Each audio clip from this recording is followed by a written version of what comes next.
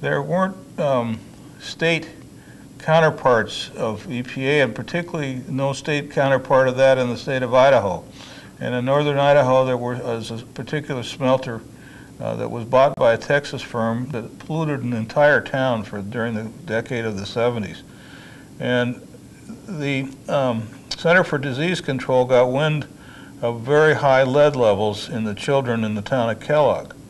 And I became interested in th- those issues because it was not only a pollution issue, but also children were being harmed by lead poisoning.